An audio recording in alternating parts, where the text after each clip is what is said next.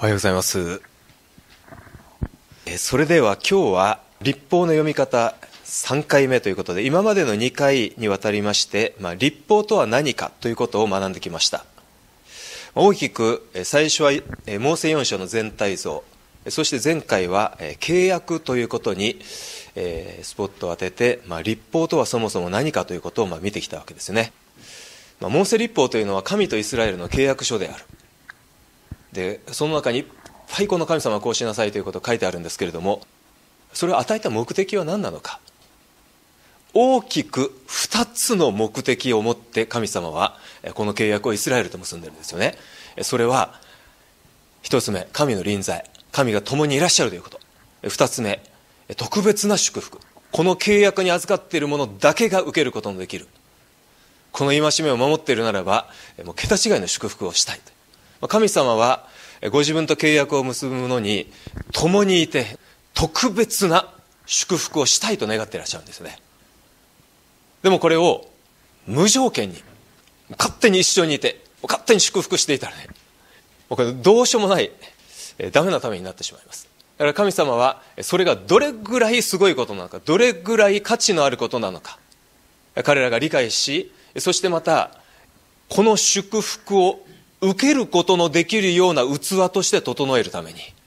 これが立法の中の言葉で言うと聖とするって聖なるものとするということなんですけれども。このとてつもない祝福をしっかり受けることができるものとして器の方を準備するためにたくさんの戒めを書いています。だからそれをしっかり彼らが守っていく時に神様は豊かに臨在彼らと共にいてくださり本当に神が私たちのただ中に来て一緒に住まってくださっている。そして雨あられと祝福をしてくださっている。それを感謝して喜び味わって受けていくことができるという甲と乙の関係になりたいわけですよね。で今日はこの2回に基づいてキリスト者にとってのモーセ4章、まあ、私たちクリスチャンが神とイスラエルとの間の契約書であるこの立法書をどのように読むのか。通読するときに、えー、何を意識しながら読んだらよいのか。そしてまたその契約書ということは、えー、契約の当事者である公神オツイスラエルだけに当てはまるものもあれば私たちがそのまま自分に適用すべきものもあるわけですよね。それを何を意識して読んでいったら私たちが通読の中でまた適用するときにこの旧約立法が自分の言葉となって生きたものとなっていくのか。実はそんなに難しいことではなくて以下の3つのことを意識しながら旧約立法を読んでいくときに全ての箇所が自分に有益になものとなる。ということなんですよね、このプリントの一番下に囲みで旧約立法の読み方ということでまとめてあります。この123が3つのポイントです。第1は神ご自身のどういうご性質が現れているかなと。これを常に意識しながら読むときに立法のすべての箇所はクリスチャンにとって有益な箇所となります。契約書として書かれている部分でもそれは全部神が神のご性質に基づいて与えておられる、えー、この戒めあるいは教えこの教えという言葉がトーラーという言葉ですけれどもですので、えー、どんなその時代特有のことを語っている時にも神ご自身が発しておられる言葉ですのでそこに神のご性質というものが反映しているのです。そしてその上で2番目。イエス様ご自身が言われたようにモーセが書いたものは私のことを書いたのですと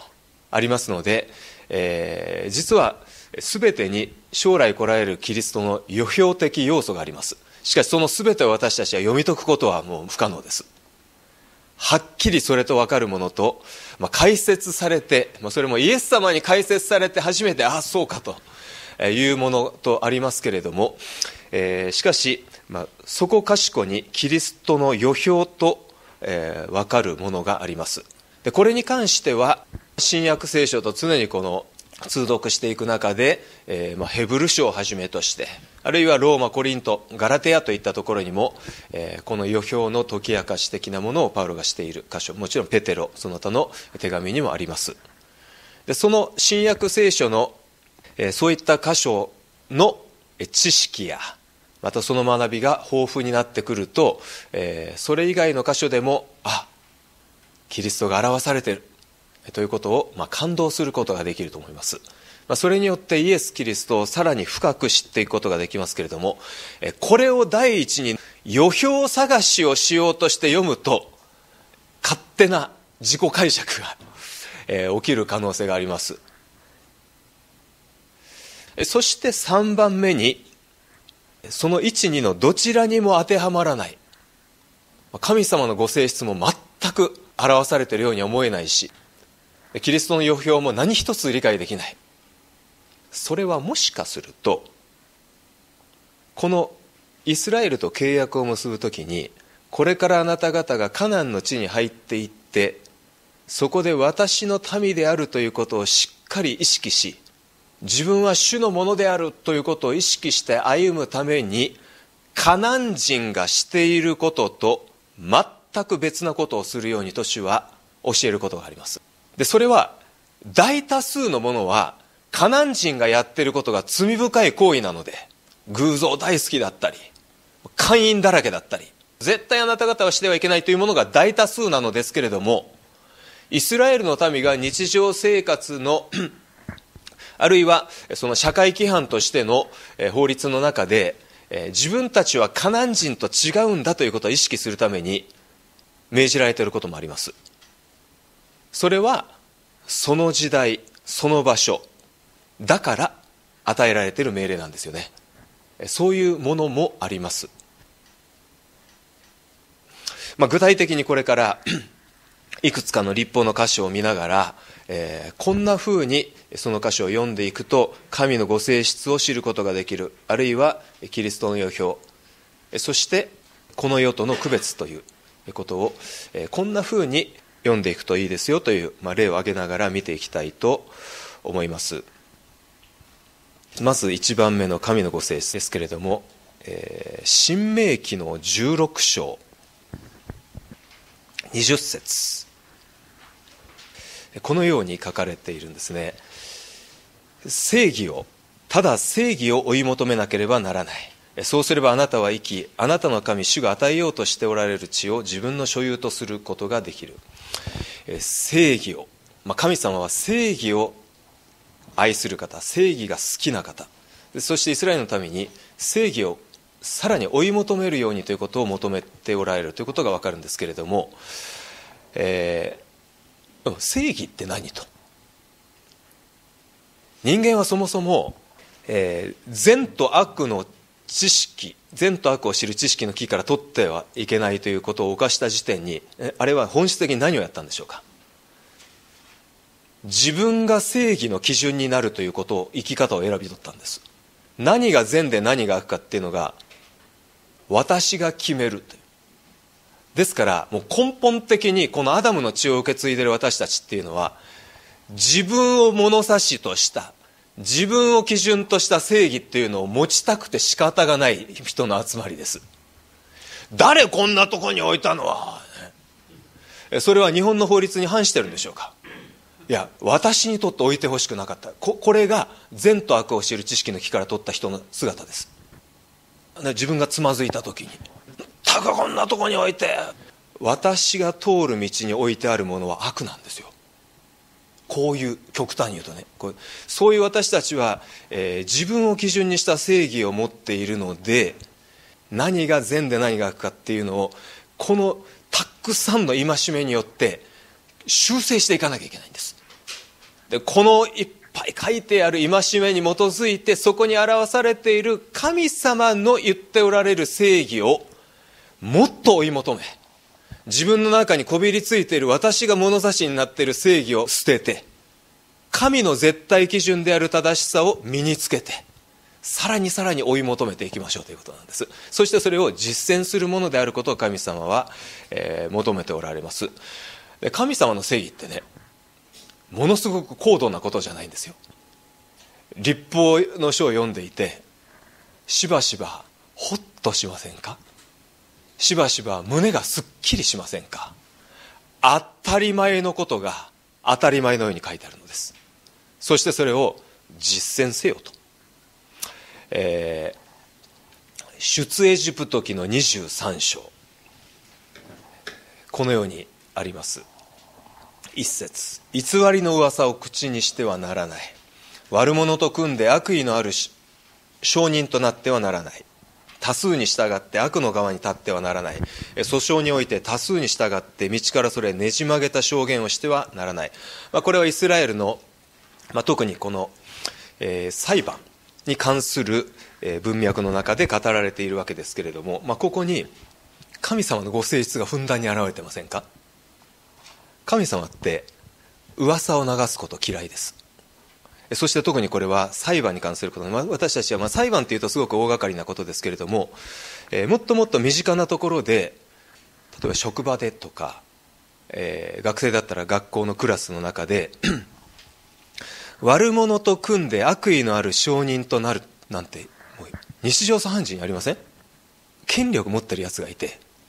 こいつに逆らうともうすごい厄介なことになって次のターゲットは自分がその集中豪雨でいじめられる。もうそういうことをもうずっとしてきてる人って分かってる。でみんなに「あいつが悪いよね」って「あいつ言うと恥かねえ」と。来た時に「そうだよね。僕もねやれたことがあってね。そうそうそう決めると」という人が神様大嫌いなんです。ここで言ってるのはそのいじめっ子のことじゃないんです。いじめっ子があいつを貶めようって言ってる時にいじめっ子にこびて「そうそうそうそう僕もそう思った」とこびる人が神様嫌いだってことが分かります。多数に従って悪の側に立ってはならない。常に状況をこう察知して多数派の側に仲間に入る。こういう人神様って嫌いなんだなってここから分かります、えー、訴訟において多数に従って道からそれねじ曲げた証言。勝ちそうな方に加担するっていうことをここでは正義じゃないって言ってるんです。正義っていうのはその時の権力とかその時のみんなが動いてる側とかこれをしたら自分が攻撃されるんじゃないかということに関係なく正しい方を選び取るということです。6節には訴訟においてあなたの貧しい者たちへの裁きを曲げてはならない。まあ、これ今の恵まれている社会の中では弱者を守るということがすごく、えー、言われます。しかしながら私たち結構やってるんじゃないかなと思うんですよね。あの貧しいってここでは、経済的に貧しい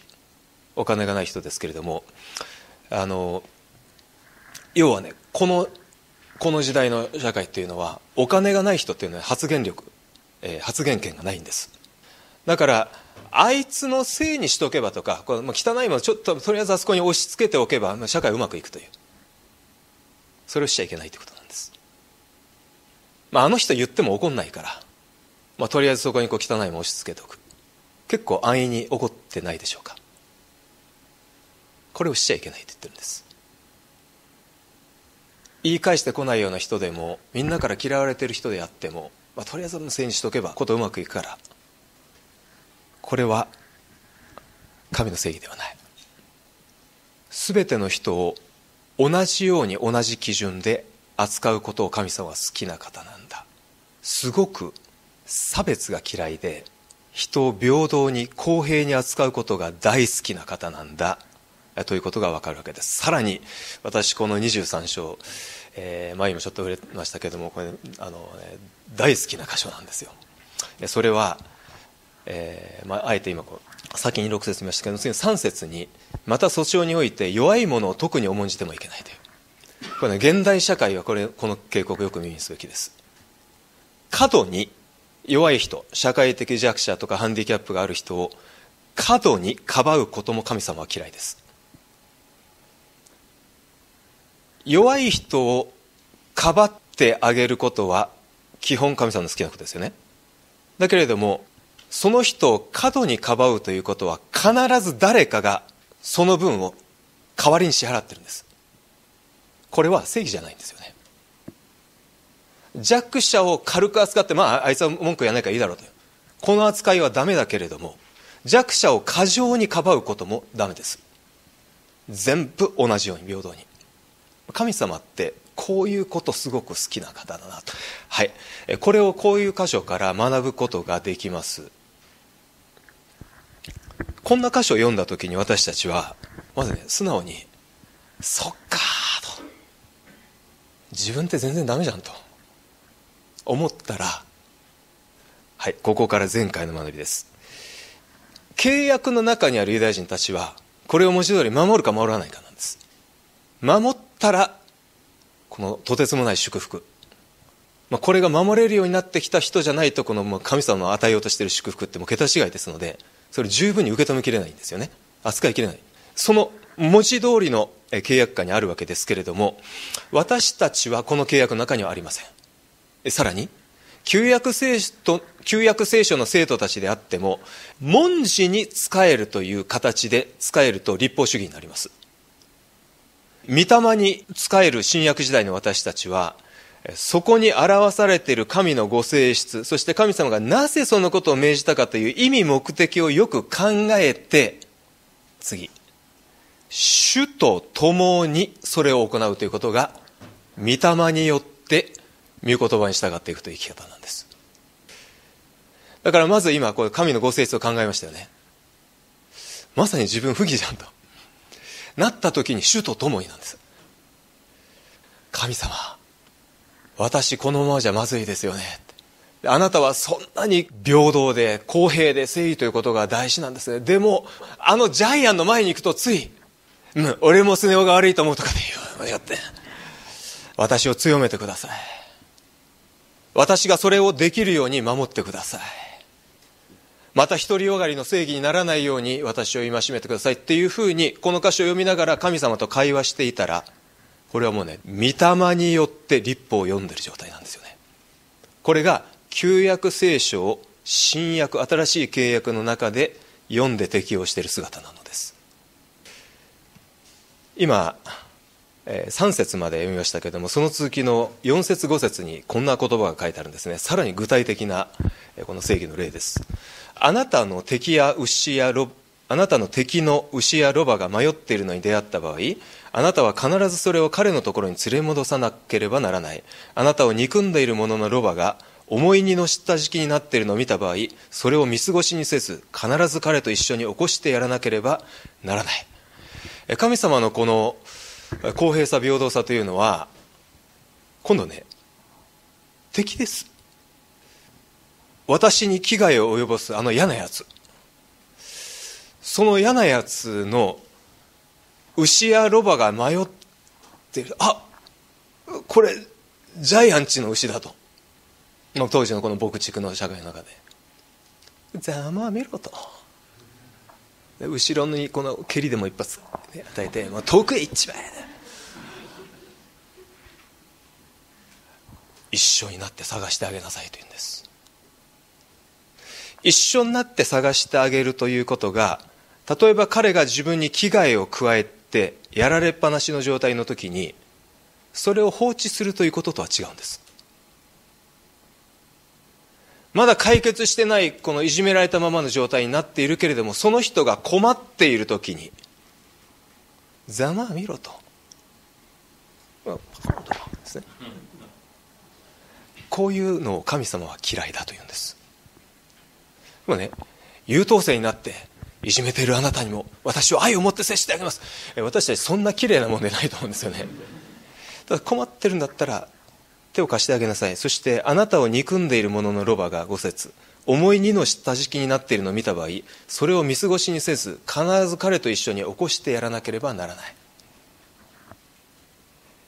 あのまあ、これはこういう牧畜の社会の中でのことですので、えーあ、んまり私たちがこのロバを起こしたりということはないかもしれませんけれども、えー、もっともっともうこんなねロバをあの荷を起こすなんていうのも大変な労働ですよ。だけど私もっとすごく簡単なところでね結構やってるんじゃないかなと思うんですよね。あの例えばどうでしょう、えー、寮生活をしている人とか、えーまあ、学校で部活動で合宿の時に。部活の合宿って青春でもあるけれども人間関係大変ですよね。で、まあ、自分は昔部活の顧問して合宿しても顧問の先生も大変です。3分間で風呂入んなきゃいけないとかね。でその時に、まあ、仮にですよ。これ全然架空の話ですけれども、えー、もう部活の中で嫌で嫌で嫌で仕方がないあの A 先輩。意地悪を絵にするとこういうやつのことかみたいなね。その A 先輩の赤すりタオルが排水溝に潜り込んでいたと。どうします？ざまみろと。あんないじめしてるから天罰が当たったんだよね。グリグリグリもっと押し込んでやれと。どうすべきでしょうか？先ほど散々どつかれてありもしないことで自分を責めまくったあの先輩の赤すりタオルが下水に入り込んでると。簡単ですよ。取ってあげてきれいに洗って干してあげるということです。そしてその人のその不条理な行動についてはそれはそれで話をしたり別扱いなんですよね。そこはそこで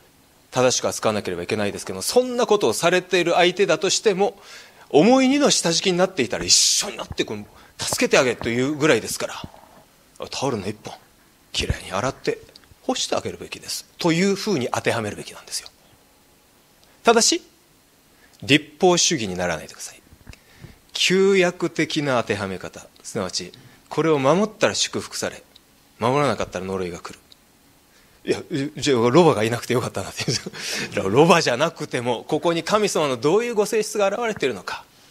でも私たちそうやって立法を読んでいくときにこれ全然ハイレベルなことじゃないと思うんです。人間としてなすべきことですよ。しかしああ自分はできてないな俺罪人なんだなってことが浮き彫りになりませんか。そこで主の前に出ればいいんです。主を私は A 先輩に対してこのように振る舞えるものになりたいです。主よどうかあなたが共に行って私を助けてください。あるいはまさに昨日 A 先輩の赤すりタオルを踏みにじりました。私は何と罪深いものなんでしょう。許してくださいとか。いうふうに主と共にここに示されている神様のご性質を共有しながら歩んでいく。これが新約的な旧約の読み方適用の仕方ということなんですよね、えー、さらにもう一つこの先にある9節にはこういう言葉があります。あなたは気流者を虐げてはならない。あなた方はエジプトの地で気流の民であったので気流者の心をあなた方自身がよく知っているからという。神様はその理由も言ってらっしゃるわけですよね。はい。このようにしても立法のあらゆる箇所は基本的にそこに表されている神様のご性質は何だろう。神様って何が好きで何が嫌いな方なんだろうって思いながら読んでいくと教えられることがたくさんあり日常生活にも当てはめられることがたくさんあると思います。それを主と共に主は私のペースに合わせてやってくださるので主と共に二人三脚でやっていくこれが御霊に導かれているものの、え、読み方ということなんですよね。では2番目のキリストの予表に行きたいと思います、ヨハネの5章46節でイエス様は言われました。もしもあなた方がモーセを信じているのなら私を信じたはずです。モーセが書いたのは私のことなのですから。モーセが書いたのは私のことだと言ってるんですよね。ルカ24章の、えー、復活の後のエマオの途上の箇所です。27節。それからイエスはモーセや全ての預言者たちから始めてということは旧約聖書全部からということですね。ご自分について聖書全体すなわち旧約全体に書いてあることを彼らに解き明かされたとありますので旧約聖書のあらゆる箇所が何らかの形でイエス様に関連して語られている。でもそれを私たちがこの予表探しをしようとして読んでいくとしばしば間違いを起こします。ですから読んでいく時には基本神様のご性質は何だろうを考えながら読んでいけばいいのです。でその時にねほこれキリストのようじゃんと気が付くことがあるんですよね。そこで教えられたらいいんです。こういうスタンスでいくといいと思います。まちょっと具体的な例を挙げたいと思うんですけれども出エジプト25章。ま出エジプトの25章から31章までが幕屋とそこで行われる礼拝に関して神様があの山の上でモーセに指示をされるところですよね。25章でまずこの契約の箱とかについての作り方を細かく神様は指示されます。あの契約の箱の寸法にも何らかキリストを表すものがあると思います、えー、でもこれはねピーンと来たら学べばいいんです。なぜ1対1.5なのかと。1.5.1.5.5.5ままあねあのそれよりも、えー、このアカシア材というね木で作ってその周りにも金でどこから見ても金、まあ、ということからの方が学ぶこと多いかもしれないですし、まあ、でもいずれにしても神様のご性質というのが第一です。ただこの25章の40節でよく注意して山であなたに示された型通りに作らなければならないと神様が言っているという。ここに神様のご性質が現れてますよね。契約の箱から始まって幕や寸法材質がすっごく細かく書かれているんです。でその型通りに作らなければってことは神様はこの幕屋の物品すごいこだわってるなということ分かるはずです。幕屋って何ですか？完成した暁に神様が降りてきて臨在する場所ですよ。だから神様は本当に私たちのただ中に住みたいと願ってるんです。そしてご自分が住まわれるためには全く清くて何の罪もない神様が私たちの中に住まわれるためにはそれにふさわしい整えが必要だということ、まあ、それをここから学ぶことができるわけなんですよね、えー、しかしこれを言っていると 幕屋の学びになってしまいます。ここはもう、えー、一気に飛んで途中の、えーまあ、いろんな物品細かく指示がされた後に最後の31章「えー、見よ私はユダ族の、えー、ベツアルエル」そして6節には、えー、ダン族のオホリアブ。この2人を立ててそして彼らに知恵を授けえー、今まで命じてきたものを、えー、この作るその才能賜物を彼らに与える、そして7節。会見の天幕証の箱その上のなだめの蓋以下うんぬん。それを11節。すべて私があなたに命じた通りに作らなければならない、すごく細かく書かれてるんですよね。このことの解き明かしがヘブル書にあります。ヘブルの8章。えー、4節5節のところから立法に従って捧げ物をする祭司たちは天にあるものの写しと影に仕えています。それはモーセが幕屋を設営しようとした時に蜜毛を受けた通りのものです。彼モーセは神様から。よく注意して山であなたに示された型通りに全てのものを作らなければならないと言われました。さっきの25章の言葉をここで引用しています。よく注意して注意深く示された型通りにきっちり作らなければならない。なぜでしょうか？それはすでに存在していた天にある本物を木とか金属を使ってそれのモデルとして作るものなので本物がすでに存在しているので勝手に変えて作ってはいけないということなんです。本物は霊的なものです。しかしそれを人間が手で触れるこのもので型として表すとするならばもうこれ以外ないという形で私が指示しているので型通りに勝手に変えちゃダメだということなんですよね、えー、続きの9章6節。さてこれらのものが以上のように整えられた上で祭司たちはいつも第一の幕屋に入って礼拝を行います。しかし第二の幕屋、まあ、これは、まあ、いわゆる死聖所ですがには年に一度大祭司だけが入ります。その時自分のためまた民が知らずに犯した罪のために捧げる血を携えずにそこに入るようなことはしません。精霊は次のことを示しておられます。すなわち第一の幕屋が存続している限り聖女への道がまだ明らかにされていないということです。この幕屋は今の時を示す比喩です。幕屋って実際に存在したものでそこで実際に祭司たちが生贄をしそして礼拝をしていたんです。しかし予表していたというんですよね。まず外側の幕がありそして幕屋という、えー、この建物というか、えー、にも最初の幕があって聖女。そこで礼拝の奉仕をする場所がありで最終的に分厚い垂れ幕があってそこから先は死聖女です。そこには大祭司が血を携え年に一度だけ入ることが許されていました。手前の普通の聖女がある限り死聖女には入れないんです。キリストは何をやったでしょうか。この幕屋ではなくてこの幕屋が真似た模倣した天にある本物の幕屋の死聖女に入りその間を入れないようにこの封鎖していた幕を破って解放してくださった。死聖女って何があるんですか？契約の箱です。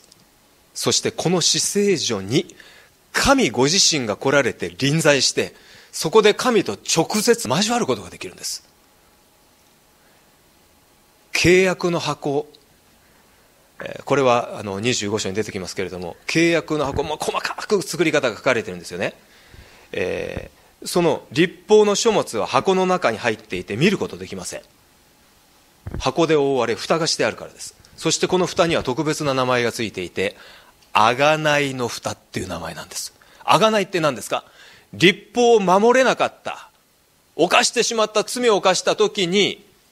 身代わりの生贄の血が注がれることによってその違反が許されるというのが贖いです。贖いで蓋がしてあるんですよ。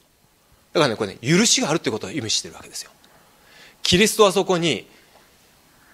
一回ごとに捧げなければいけない動物の血ではなくて、ご自分の永遠の血を携えていって注いだということをね、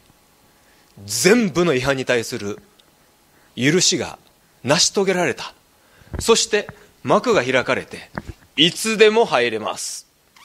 ということは、このキリストとの契約、かつてのモーセ契約ではなくて、キリストとの契約に預かっているものは、24時間365日、いつでも神と直接交わることができる。そしてそこに入るために、いろんなこの細かい条件をクリアしないと入れなかったんだけどそれを全部キリストが成し遂げたので、イエス様と一緒に二人で行くならば、いつでも神の助けを受けるためにそこに入ることができる。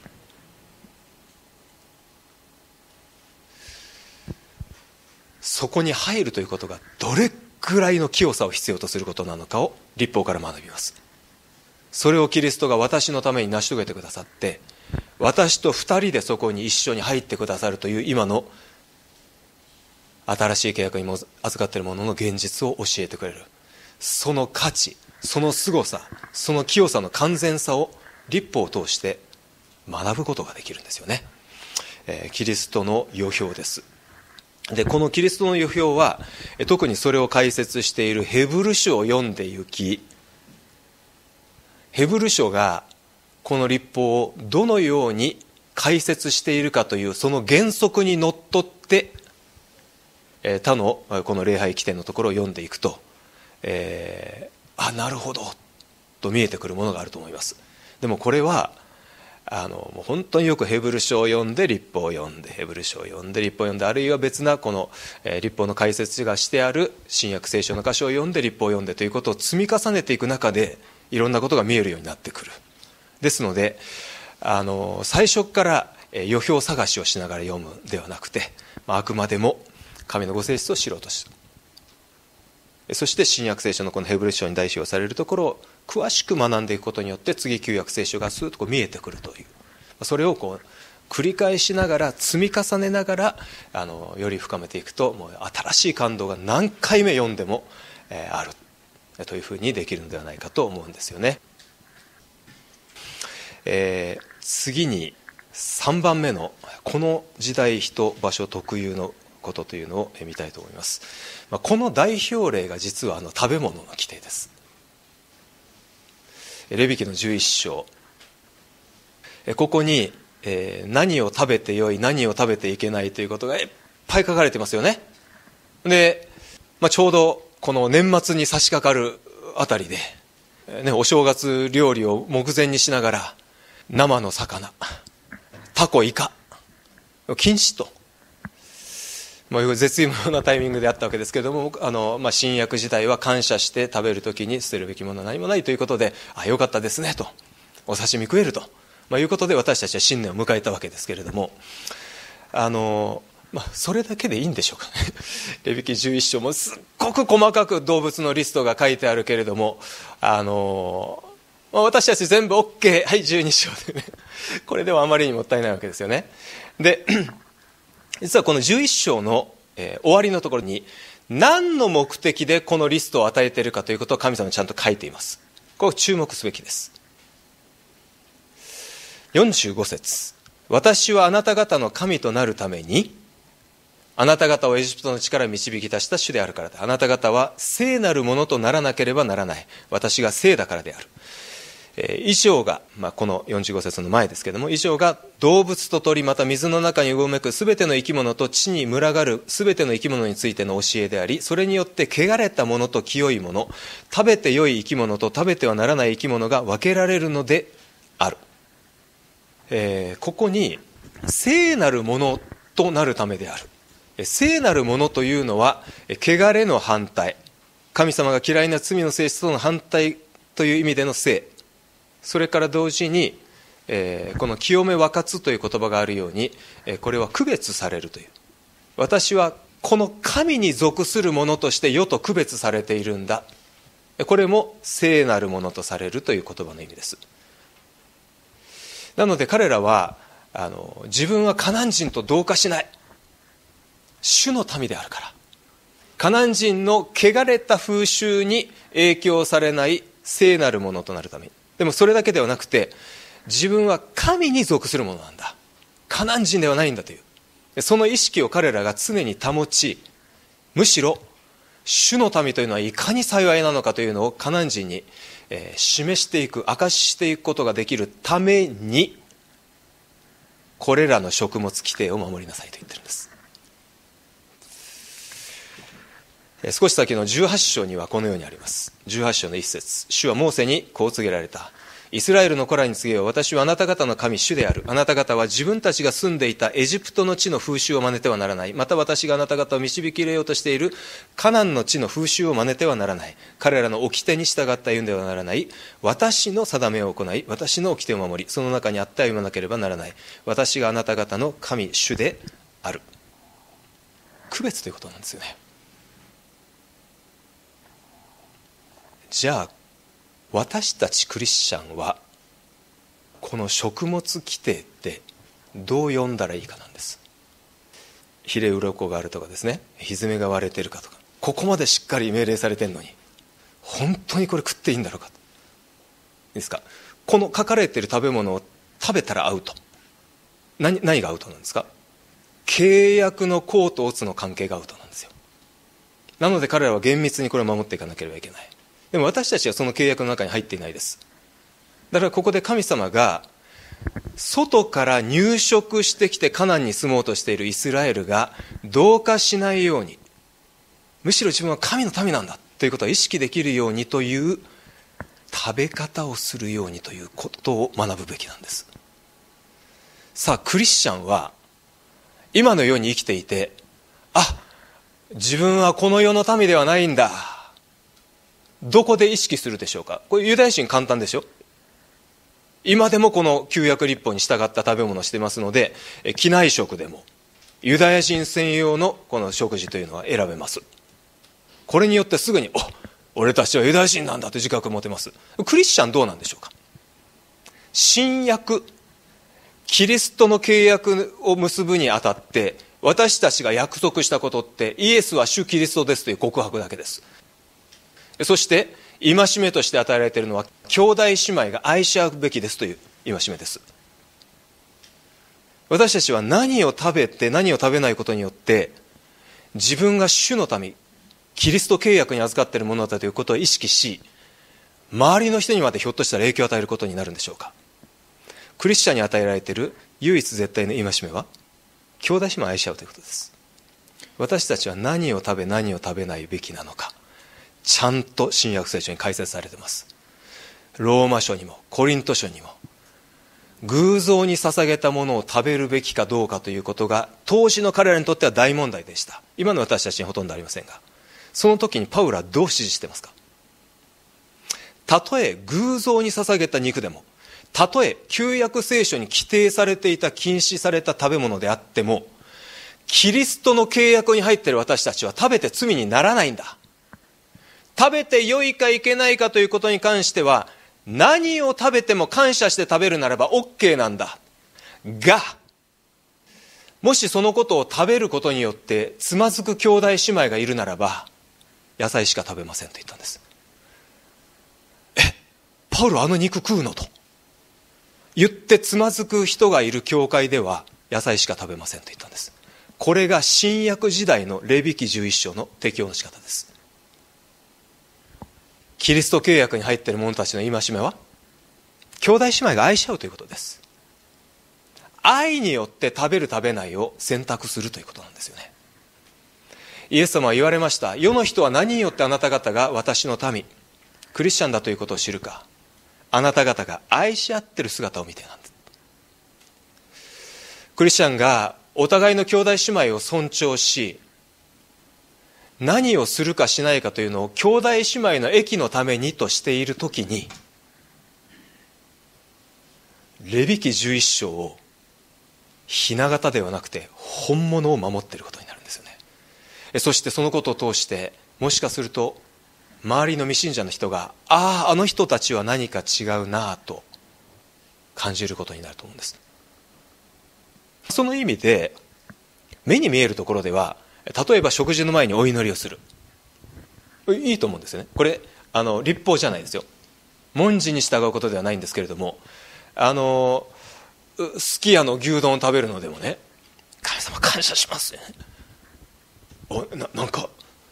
あの違法人がいると。いやお前らが違法人だね。私は主のためだということを分かるという意味でいいと思うんですよ。その意味でもちろん感謝して食べるんですけども。それから、まあ、私たちがなんかわからないですけれども、まあ、集会の兄弟姉妹で、えー、このすき家に行きましたと。でその時にねそこにいる兄弟姉妹を配慮して何を食べるか食べないかどれぐらい食べるかということを常に兄弟姉妹全体を意識しながら選んでる姿がレビ記11章を新約的に守ってる姿です。レビキの11章。この中にあるカメレオンを食べるなというのは食当たりする可能性があったからかかもしれないんですけれども多分最大の理由はカナン人が食べてたからです。レビキ11章の食物規定で禁じているものっていうのは食当たりしやすいものが多いです。でもここが大事なんです。それが第一の理由ではないです。自分たちは神の民だ。カナン人とは違うということを意識し、えー、証しするという、まあ、そこに大きな目的があるわけですよね、えー、なので私たちは あの新約時代の兄弟姉妹を愛するという原則。それに基づいてこの食物規定も考えていくということですよね、えー、こういうヒントはどのように読んだらいいかというヒントはあの長いリストの最後にこの目的でこのリストを与えたというように書かれていることが多いんですでこれを気が付くためにも神様ってどういうご性質の方なのかな？神様は何が好きで何が嫌いな方なのかなっていうアンテナを張って立法を読むことが大事なんです。えいうことで、えー、まとめます。旧約聖書の立法読む時にはもう何と言っても主のご性質を意識しながら読んでいく。そしてキリストの予表を見つけることができれば幸い。でも一体これ何なんだろうと。いう命令はああカナン人と区別するためかなということが正解である場合が、えー、多いです。ただそういう箇所はま全体の中では少ないですけども。こういう形でこれから立法の書を味わえそして適用して読んでいくならばすごく益があるのではないかなと思いました。以上です。最後に一言お祈りしております。